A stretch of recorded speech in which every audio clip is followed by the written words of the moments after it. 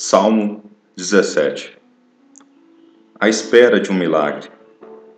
Prece de Davi. Escuta, Javé, a minha apelação. Atende o meu clamor. Dá ouvido à minha súplica. Que não sai dos meus lábios mentirosos. Que minha sentença provenha de tua face. Teus olhos vejam onde está a retidão. Ainda que me sondes o coração, e de noite o examine Ainda que me proves com fogo, malícia nenhuma encontrarás em mim. Minha boca não transgrediu, como costumam os homens. Conforme a palavra dos teus lábios, eu observei os caminhos prescritos. Meus pés não vacilarão, meus passos ficaram nas tuas pegadas.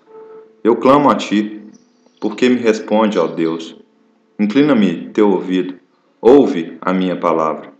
Manifesta a maravilha do teu amor, do que dos agressores salvas, a quem se refugia à tua direita.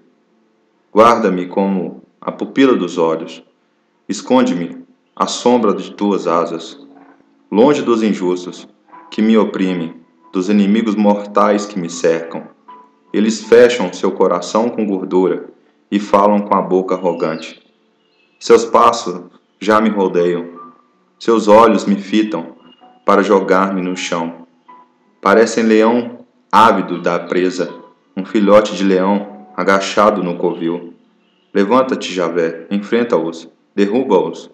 Que tua espada me liberte do injusto, e tua mão, Javé, os expulse da humanidade, para fora da humanidade e do mundo. Seja essa a parte deles nessa vida.